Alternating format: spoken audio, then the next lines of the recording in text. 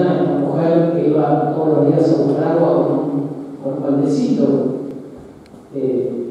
con un cántaro, el evangelista nos hace saber que después de que se encontró con Jesús y con el agua viva, ella dejó su cántaro. Esta mujer que se iba que al principio se escondía,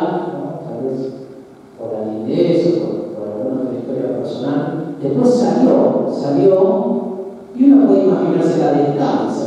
¿no? Y, enamorada, también enamorada de Jesús, para poder hablar de Dios por donde no fuera conocido, para hacerlo conocer. Nuestra, nuestra beata María Antonia también puede tomar esta imagen de la samaritana llena de deseos profundos, transformada por el encuentro con Jesús en la práctica de los ejercicios y bien misionera, como esta mujer que dice el Va a contar a